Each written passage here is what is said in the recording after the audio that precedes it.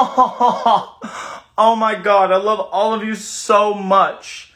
Oh my God, I'm so thankful to have my entire family, my beautiful wife, my baby. Okay, let's enjoy this beautiful food and a great day. Hmm? Damn, bro.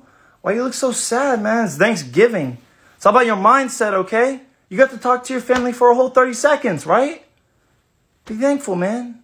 And I'm sure we got some good food. What we got, huh? 1% low fat milk.